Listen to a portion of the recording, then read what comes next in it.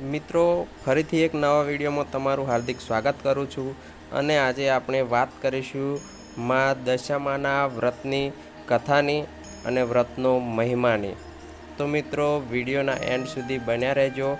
આપણે આજે સાંભળીશું દશા માતાજીની વ્રત કથા અને વાર્તા અને સંપૂર્ણ વિધિ. તો મિત્રો, મનની સર્વ મનોકામના પૂરી કરનાર અને સર્વ નારીની અખંડ ચૂડી ચાંદલો રાખનાર સૌભાગ્યશાળી વ્રત કથા એટલે દશામાનું વ્રત. તો મિત્રો, દશામાના વ્રત કરવાની પૂજન વિધિ હું તમને સંભળાવીશ. ધ્યાનથી સાંભળજો મિત્રો. આગળ દશામાની વ્રત કરવાની પૂજન વિધિ. દર વર્ષે અષાઢ વદ અમાસ એટલે કે દિવાસાના દિવસે આ વ્રત કરવામાં આવે છે.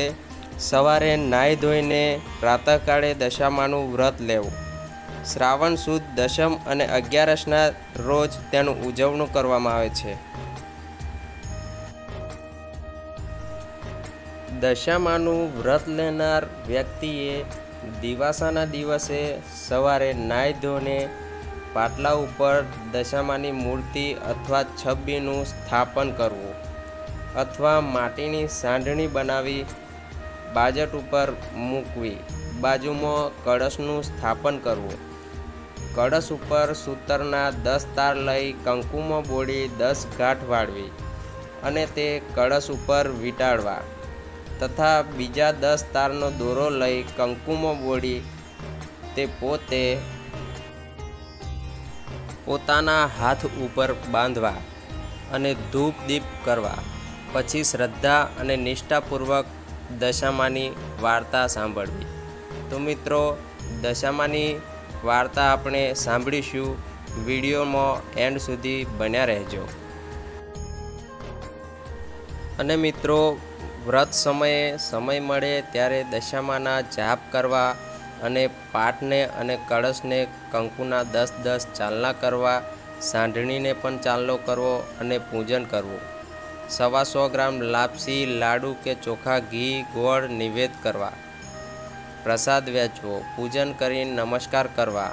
બની શકે તો અખંડ દીવો, ઉપવાસ કરવા અથવા એકટાણું કરવું. દશામાની સ્તુતિ કરી શકાય તેટલું રાત્રે જાગરણ કરવું.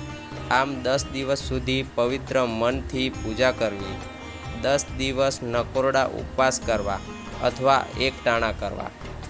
એમ કરી દશામાનું વ્રત પૂર્ણ કરી અગિયારમા દિવસે માટીની સાંઢણી જળમાં પધરાવી અને શક્તિ અનુસાર સુપાત્ર બ્રાહ્મણને સૌભાગ્ય શણગાર કે વસ્ત્રદાન કરવું. મનથી તનથી પવિત્રતાથી શ્રદ્ધાપૂર્વક ઉજવણી કરવી.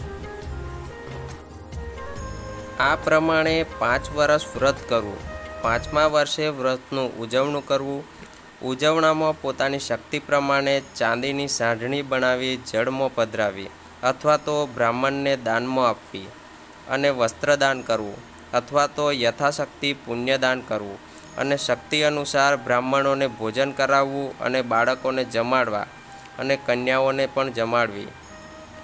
દશામાની પાંચ અથવા અગિયાર ચોપડીઓ વાંચવી. આ વ્રતના પ્રભાવથી ખરાબ દશા નાશ પામી સુખ શાંતિ મળે છે અને શ્રદ્ધા મુજબની ફળ પ્રાપ્તિ થાય છે.